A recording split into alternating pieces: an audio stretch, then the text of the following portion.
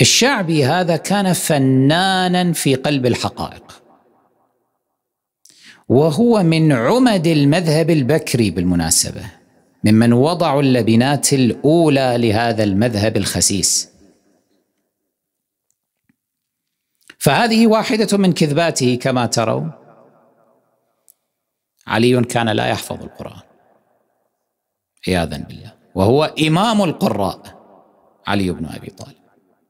صلوات الله عليه. كذبه أخرى حقيره منه. اراد بها ان يزيل هذه الحقيقة وهي حقيقه رفض فاطمة الزهراء عليها السلام لأبي بكر لعنه الله وغضبها عليه إلى حد أنها ماتت وهي واجدة أو غاضبة عليه يعني في حالة خصام وقطيعة تامة. تعلمون أن هذه الإشكالية سببت احراجا كبيرا لهذا المذهب وأهله وإلى هذه الساعة. لا يستطيعون الفرار من هذا الإحراج. غير قادرين. يعني الشيعي له حجته لما يبغض أبا بكر. ما هي حجتك أيها الإنسان الشيعي؟ يقول أنا موقفي موقف بنت رسول الله. خلاص. أنا أشوف فاطمة الزهراء عليه السلام ما موقفها من الرجال أنا على أثرها وعلى خطاها. فله حجته. البكري في الحقيقة ليست له حجة. لأنه إن زعم أن أبا بكر له فضائل ومناقب وأنه كان صاحب النبي صلى الله عليه وآله في الغار فينبغي من ذلك كله أن نعظمه ونجله. الجواب يكون سهلا يسيرا عليه عليه. أنه كل هذه الأمور تعرف بها بنت رسول الله إن كانت حقيقية وواقعية. كلها عرفتها فاطمة الزهراء عليه السلام. وهي سيدة نساء أهل الجنة. ولا مغمز على تدينها البتة وإلا كفرت.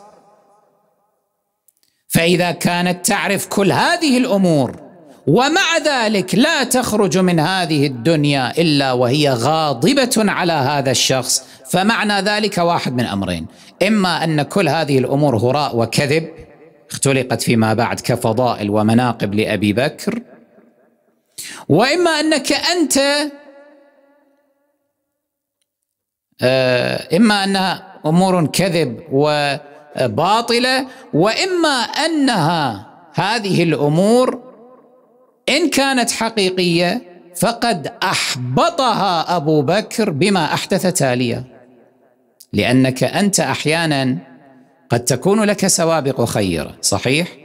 لكن بعد ذلك ترتكب من السيئات ما يحبط عملك ويحبط أجرك والعبرة بأي شيء دائما؟ العبرة بالخواتيم. بلعم بن باعوراء بلغ من تدينه أن نال الاسم الأعظم. لكن بالأخير انحط في خاتمته إلى أي شيء؟ سوء خاتمته جعلته ماذا؟ كلبا. أجلكم الله.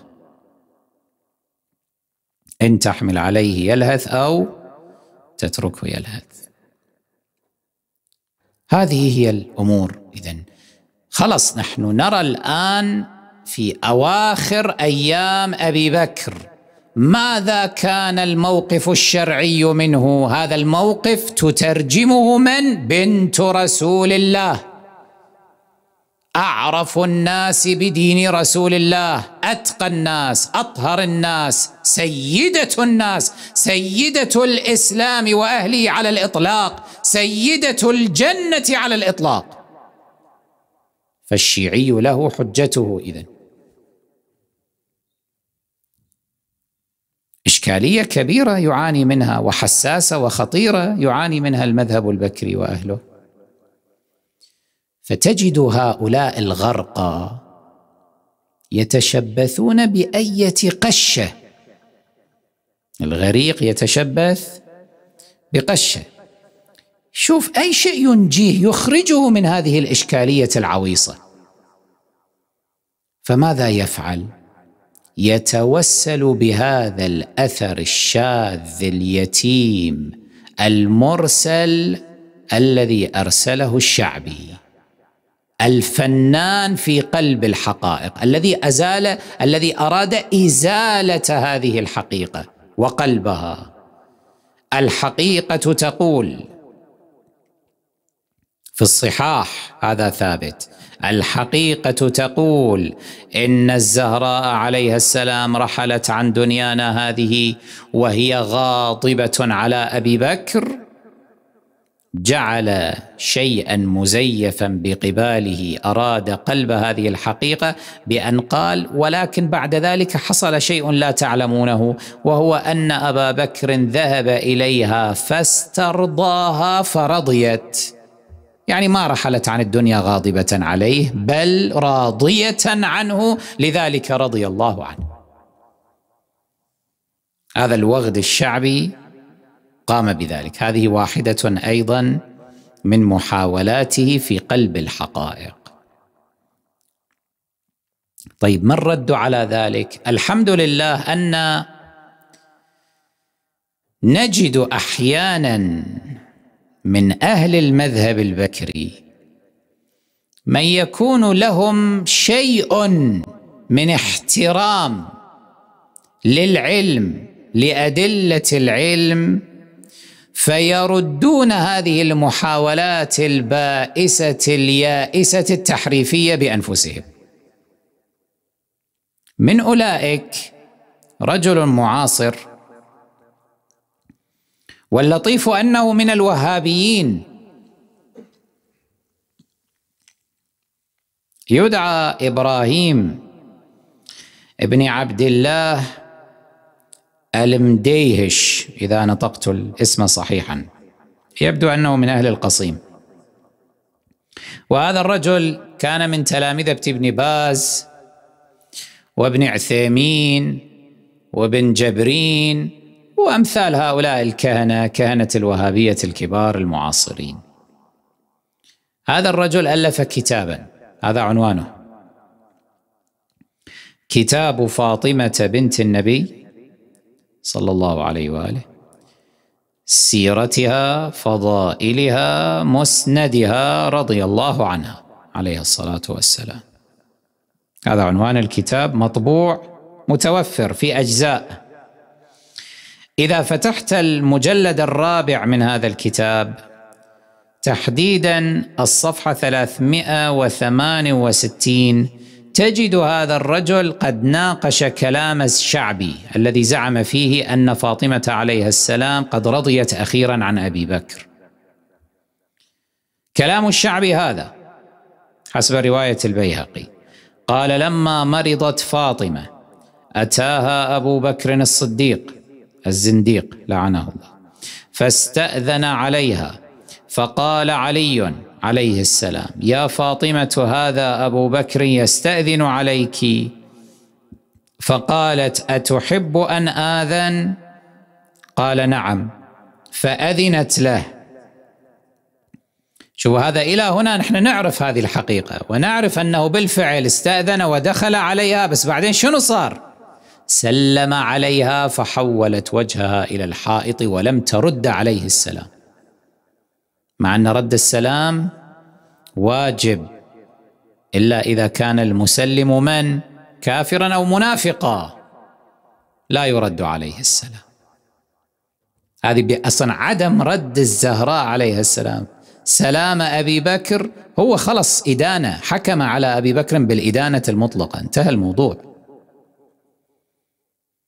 الزهراء وأعرف الناس بالأحكام الشرعية. ثم بعد ذلك حاول أن يسترضيها كذا كذا فلم ترضى عنه الزهراء وهددت أنذرت توعدت قالت والله إني أشهد الله أنكما أسخطتماني وما أرضيتماني ولئن لقيت أبي رسول الله لأشكونكما إليه. أنت وصاحبك عمر. وثم بعد ذلك ثنت وقالت والله توجه كلامها للطاغية الأول. والله لأدعون عليك في كل صلاة أصليها. وهنا أبو بكر كان يحاول أن يظهر مكره الدبلوماسي. أظهر بكاء وقال والله لأدعون لك. والزهراء ترد عليه تقول والله لأدعون عليك. وفي كل صلاة أصليها. ليس على مثلي وعلى التاريخ تحتال. لأنه هذه وسيلة الطغاة. إظهار العطف والشفقة والرأفة. والرحمة والتحايل على عواطف الناس بهذا. لأن الناس إذا تشوف عادة تشوف لا والله هذا الحاكم رغم كل ما يعني يقابله به المعارض من شراسة هو من جانبه يلتزم الحلم. تخيل واحد معارض يسب الحاكم والحاكم يقول والله أنا راح أدعو لك الله يغفر لك. قلوب الشعب كلها تصير مع الحاكم بسبب هذا الموقف. يقول والله حاكم رزين ومحترم وجليل القدر ويعني. صحيح لو لا؟ إذا الآن هذا يصير. يقولون هذا المعارض طائش. شنو هذا يعني؟ صحيح هسه خلي نفرض هذا الحاكم فعل أشياء مثلا. بس خلص بعد. عفى الله عما سلف. وهذا هسه جاي يبدي حسن نية هذا الحاكم ويريد إرضاء هذا المعارض. فيعني ليش بهذا الموقف وأمام شاشات التلفزة الحاكم يأتيك يأتي إلى بيتك ويسترضيك مثلا وأنت تقابله بهذه الشراسة. وفوق هذا هم يحلم عنك أيضا. ببساطة الحاكم يستطيع هكذا شوية بس يمثل على الناس يكسب قلوبها. أما هذا خداع. يعني شنو الفائدة؟ أنت تهجم على بيت تحرق هذا البيت تضطهد سيدة جليلة كانت حبلى حامل تسقط جنينها تفعل الأفاعيل بها وبعد ذلك والله تعالي سامحيني يعني كان خطأ وكذا وخلص. إذا كنت صادقا في توبتك لخرجت مما أنت فيه وتحللت. تعال سلم الأمر إلى أهله.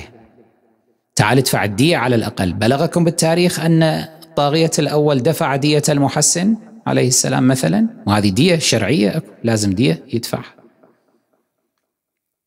عمر دفع دية قنفذ دفع دية مثلا. أبدا. فليست الزهراء ممن تخدع. الزهراء لها موقف حازم حاسم. ولذلك أرادت تثبيته للتاريخ. فإلى ها هنا مما رواه الشعبي صحيح.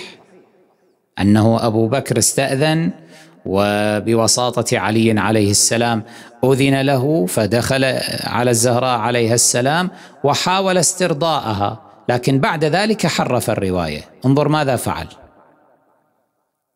يقول فأذنت له فدخل عليها يترضاها وقال والله ما تركت الدار والمال والأهل والعشيرة إلا ابتغاء مرضات الله ومرضاه رسوله ومرضاتكم أهل البيت.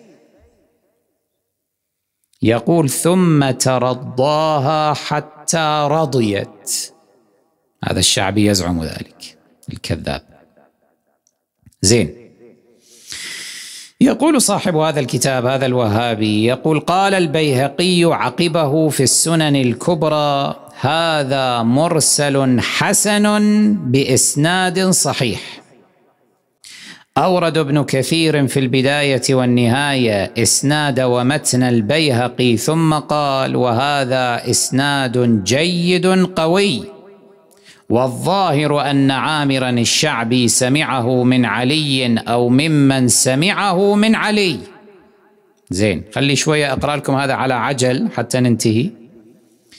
قال ابن حجر في فتح الباري بعد أن خرجه من البيهقي وهو وإن كان مرسلا. هذا الحديث مرسل. والقوم ما شاء الله فنانين. إذا جبنا لهم حديث مرسل في فضل أهل البيت عليهم السلام أو على خلاف هواهم المذهبي على طول رفعوا لك بطاقة مرسل. ما راح نقبله. إيه هذا مرسل. لماذا تقبلونه اذا ليش هاي اللعبة لعبة الأسناد؟ متى تبطلون حركات الصبيان والأطفال؟ يقول لا شوف ابن حجر ماذا قال؟ يقول وهو وإن كان مرسلا فإسناده إلى الشعبي صحيح وبه يزول الإشكال في جواز تمادي فاطمة عليها السلام على هجر أبي بكر. تمادي تمادت فاطمة الزهراء على هجر أبي بكر. وأبو بكر مفروض مؤمن بل سيد المؤمنين بعد رسول الله. الصديق صديق هذه الأمة كيف تهجره فاطمة الزهراء عليه السلام؟ هذا محرم. وقد تمادت في ذلك لانهم يرون أنه ستة أشهر خاصمته لم تكلمه حتى ماتت. يقول يزول الإشكال. بمرسل الشعبي يزول الإشكال. يقول ثم ذكر ابن حجر كلام العلماء في معنى هجر فاطمة. وسيأتي في الدراسة الموضوعية وأشار له في موضع آخر بقوله لذلك فإن ثبت حديث الشعبي أزال الإشكال. وأخلق بالأمر أن يكون كذلك يعني هذا أحرى أن يكون هذا هو الواقع الذي حصل لما علم من وفور عقلها ودينها عليها السلام. زين. هذا كلام إذن ابن كثير وكلام ابن حجر وأشباههما حاولوا تقوية هذا الأثر أثر الشعبي. زين أنت شنو حكمك؟ يا أيها الوهابي تلميذ ابن باز وابن عثيمين وابن جبرين ومن أشبه. يقول الحكم على الحديث. الحديث مرسل. إسناده إلى الشعبي صحيح. وما بعد الشعبي رجل أو رجلان لا يدرى من يكونا والمرسل من انواع الاحاديث الضعيفه. وقول ابن كثير الذي قال يحتمل ان الشعبي سمع هذا من علي يعني رجح هذا الاحتمال. قال وقول ابن كثير مجرد احتمال. ولو قدر أنه رواه عن علي رضي الله عنه فالصحيح أنه لم يسمع منه أصلا. يعني تخيلوا لو أن الشعبي قال أصلا أصل الرواية كانت هكذا عن الشعبي عن علي أنه وقع كذا وكذا حتى هذا لا يقبل. لماذا؟ لأن الصحيح الثابت تاريخيا أن الشعبي أصلا لم يسمع من علي عليه السلام. فإذا لابد أن تكون هنالك واسطة ساقطة وأن هذه العنعنة لا تعني أنه قد سمع منه مباشرة. قال فالصحيح أنه لم يسمع منه فهو منقطع. وغريب تمشية الإسناد على الاحتمالات. يرد على ابن كثير. يقول شنو هذا فضحتنا أنت. شلون نمشي الإسناد على الاحتمالات؟ فالحديث ضعيف لإرساله ومخالفته الصحيح الثابت من حديث عائشة رضي الله عنها. لعنها الله. أن فاطمة رضي الله عنها أجرت أبا بكر رضي الله عنه لعنه الله حتى توفيت. هذا خلص حديث عائشة أثبت أصح. وأما الحديث عن مراسيل الشعبي فهي أصح من غيره مع بقائه في دائرة الضعف. وأما قول العجلي مرسل الشعبي صحيح لا يكاد يرسل إلا صحيحا. يقول لا يكاد يرسل مما يدل على الغالب. لأن بعض المتنطعين في زماننا من بقايا الطائفة البكرية يستدلون بقول العجلي أنه هذا مرسل الشعبي ومرسل الشعبي لا يكاد يرسل إلا صحيحا. هؤلاء مجرد ببغاوات بس يكررون الكلام مثل اسطوانة مشروخة. ما يعرف وجه هذا الكلام. هذا معناه أنه في الغالب لا يرسل إلا صحيحا. لا أنه في كل مورد من الموارد. تعلم. قال وقد والراجح أن غالبه معتضد بشواهد تدل على أن له أصلا لا أن المرسل صحيح لذاته. وقد ضعف مراسيل الشعبي الترمذي وغيره. فكيف خفي على هؤلاء أن مراسيل الشعبي في حكم الصحيح؟ قال ومرسله ومرسله هذا في فاطمة لا شك في ضعفه. هذا المرسل الذي يدعي فيه أن فاطمة عليها السلام رضيت عن أبي بكر. لماذا يقول اولا لأنه مخالف لحديث عائشة في الصحيحين؟ ثانيا أنه دليل فرد حسب البحث لم تحفل به مع أهميته وتأثيره دواوين الإسلام. وانفرد به مختصرا ابن سعد وأطول منه البيهقي في القرن الخامس الهجري ووضع هنا علامة استفهام وعلامة تعجب. يعني لم يظهر هذا الأثر إلا في القرن الخامس. ثالثا ليس له أصل وشاهد لا في الموقوفات ولا المراسيل. رابعا أن الحدث محل اهتمام وتشوف من الصحابة والتابعين. فلو كان واقعا صحيحا لنقل بأسانيد متصلة صحيحة لأنه بالفعل كان حدثا جللا يتشوف له الصحابة والتابعون على تعبيرهم. كل يريد أن يعرف أنه فاطمة عليها السلام رضيت أخيرا عن أبي بكر أم لا؟ فلو كان لذلك واقع لاشتهر وبان ولطاروا به فرحا أنه خلص صار الصلح يعني. بس الشعبي يعرف به؟ ثم لا يظهر عن الشعب إلا في القرن الخامس بعد خمسمائة سنة؟